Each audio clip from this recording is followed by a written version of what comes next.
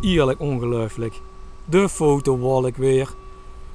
De beroemde fotowolk en daar is de zon weer.